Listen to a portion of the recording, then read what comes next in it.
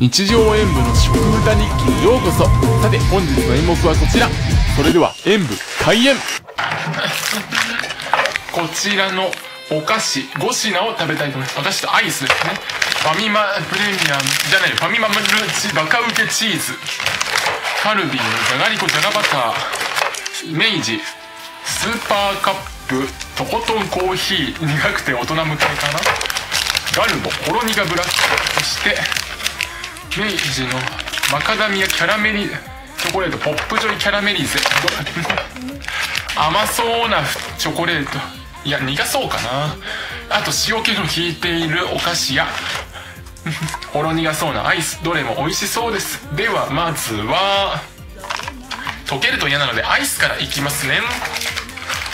ではうんと。ん大人だからこそ食べるをたっぷり楽しんでもらいたいそんな思いで作ったスーパーカップですだと。いうということですね。わーおクランチがいっぱいですね。これこぼれると嫌なのでもうこのまま行かせていただきます。では。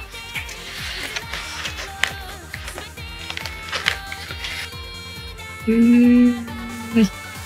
うわー、いきなりスーパーカップで強烈なパンチを食らわされたなーと思ったら、意外とちょっと癒してくれるものもあったり、ピリッと変化を与えてくれるお菓子も出てきたりと、本当にお菓子と言っても色々ありますねもっと色々食べてみたいけど、とりあえず今日はこの5つかなー。パクパク食べ進めることができて本当に美味しい。やっぱり味に振れ幅があると食が進みますね。あなたはどんなお菓子が振り幅を持たせてくれて好きですか？私に教えてくれると嬉しいなそして、あわよくばリクエストしていただけたら私が食べるかも。まあ、とりあえずは今食べているお菓子のレビューですね。詳細はこの後すぐにお伝えします。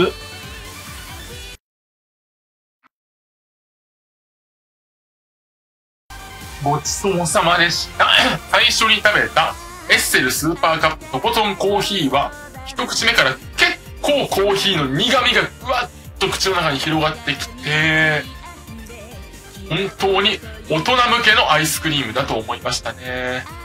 苦いのが苦手な人は正直食べない方がいいかなと思いました。反対に、あ苦いアイスが気になる、好きという場合はぜひ食べてほしい。次に食べたファミマのバカウケ濃厚4種のチーズ味は本当にチーズが濃厚で噛んだ瞬間にうわっとチーズの旨味コクが広がってきました。ただのバカウケとはまた違う美味しさがあってよかったです。次に食べたこちらのポップジョイカラメリゼはカラメリゼカラメリゼはカラメルという割にはあまり苦味がなくてかなり甘めになっていましたね。なので美味しいんですけど少し思っていたのとは違うかなと思いました。次に食べたこちらのじゃがりこじゃがバター。まあじゃがりこもじゃがバターもどちらもじゃがいもっちゃじゃがいもなんですけど噛んだ瞬間にバターのこれはどちらかというと味に深く香りよりもコクが強いバターに口の中でバターの旨味が広がってきて通常のじゃがりこよりもまろやかな味わいを楽しむことができました。なのでちょっとまったりしたいなと思う時に食べるのがベストかなと自分は思います。で、ちなみにこの動物キャラクターってイラスト屋さんでしたっけどっかで見たことあるんですけどね。あ、それはどう？余談か。で、最後に食べたガルボほろ苦ブラックはかなり、ほろ苦と書いてますけど、かなり苦いです。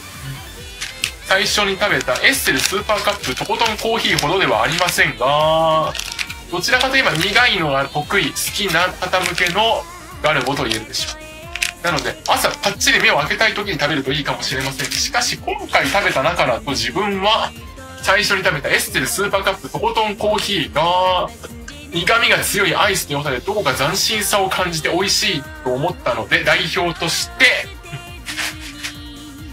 あ4点とさせていただきます。それでは、